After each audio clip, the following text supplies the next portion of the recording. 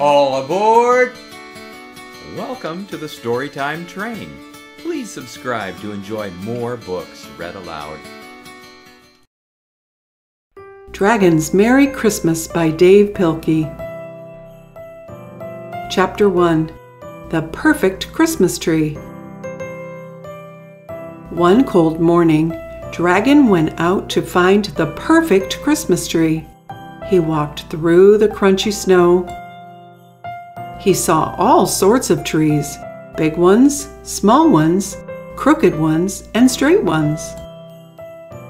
Finally, he found the most beautiful Christmas tree of all.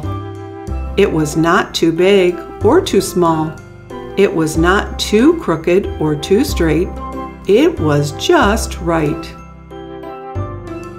Dragon looked down and saw the tree's beautiful brown trunk. It stood firm and strong in the frozen earth.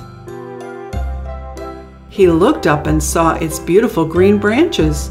They waved back and forth in the cold December wind. Dragon could not cut down such a lovely tree. Instead, he came back with colored lights, silver bells, and everything he needed to make his tree even more beautiful. That night, Dragon looked out at his Christmas tree shining in the night. It was truly perfect. Chapter 2 The Candy Wreath One day in December, Dragon had a good idea. I will make a wreath out of candy, he said. Dragon took some old wire and bent it into shape. Then he taped little pieces of chocolate candy all around it. When Dragon hung his candy wreath on the wall, one of the pieces of chocolate fell off. Dragon picked it up and ate it. It was very good. Dragon did not want his wreath to look bare, so he promised not to eat any more candy. I will eat only the pieces that fall off, he said. Dragon bumped his elbow against the wall, and two more pieces of candy fell off. Whoops, he said, gobbling them up. Dragon sat down in his chair and looked up at his candy wreath. He tried not to think about the smooth, rich, sweet, creamy dark chocolate candy. Dragon could not sit still he began to drool. Suddenly, Dragon could not stop himself. He shook the candy wreath back and forth and then jumped up and down on it until every last piece of candy had fallen off. Dragon got a tummy ache from eating so much chocolate. Next year, said Dragon, I will make my wreath out of pine cones. Chapter 3 Mittens Dragon was always losing his mittens. No matter how hard he tried, he could never keep track of them.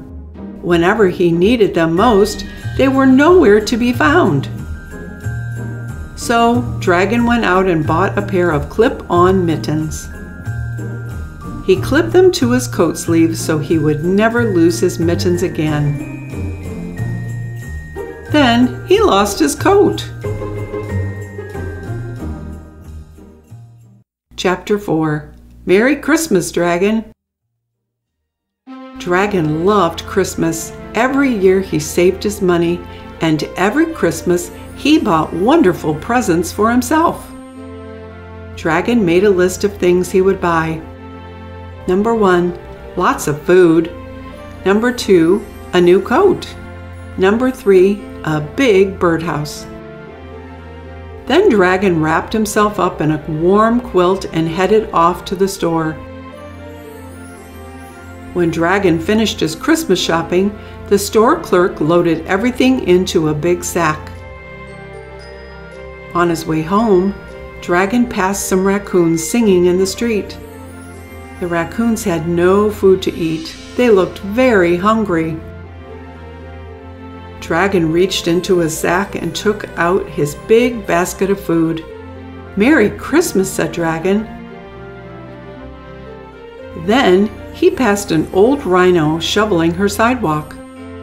The rhino did not have a coat to wear. She looked very cold. Dragon reached into his sack and took out his new wool overcoat. Merry Christmas, said Dragon. Finally, Dragon saw two little birds sitting on a branch. The birds did not have a home to live in. They looked very sad. Dragon opened his big sack, took out his birdhouse, and hung it on a branch. Merry Christmas, said Dragon. When Dragon got home, his big sack was empty. There were no presents left for him, but Dragon did not feel sad. He went upstairs to his quiet room and crawled beneath his soft, warm quilt. And later, as he slept, Dragon dreamed he heard angels singing in the starry night. The end.